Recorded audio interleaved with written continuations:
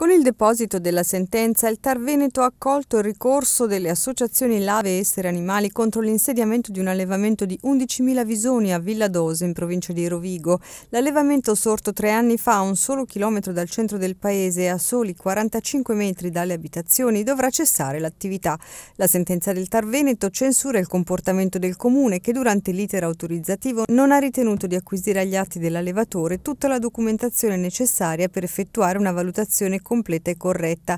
In particolare non ha qualificato l'allevamento come intensivo, evitando quindi di applicare la disciplina sulle distanze delle abitazioni rispetto agli allevamenti intensivi prevista dalle norme regionali.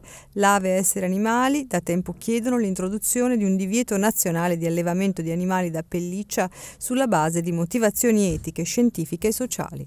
L'allevamento di visoni di Villa Dose dovrà chiudere, speriamo al più presto, grazie al ricorso che abbiamo fatto noi di Essere Animali insieme alla LAV al TAR, questo basandoci su molte irregolarità che erano presenti nel momento dell'apertura. Questa, questa situazione siamo riusciti a risolverla anche grazie all'apporto dei cittadini che nel paese questo allevamento non lo volevano. I vicini stessi hanno fornito informazioni molto importanti e ci hanno aiutati a ottenere questo ulteriore importante risultato per gli animali che vivevano in condizioni, come possiamo definirle? Ma le condizioni negli allevamenti di animali da pelliccia per gli animali sono terribili perché sono chiusi in minuscole gabbie di rete metallica sollevati da terra, non toccano mai il terreno, non hanno mai sentito l'erba, sono animali che in realtà vivrebbero metà del loro tempo in acqua e l'acqua non la vedono mai nella vita. E poi dopo pochi mesi questa vita finisce dentro una camera a gas, quindi diciamo situazioni inconcepibili poi per un, quello che è solamente un bene di lusso che è la pelliccia.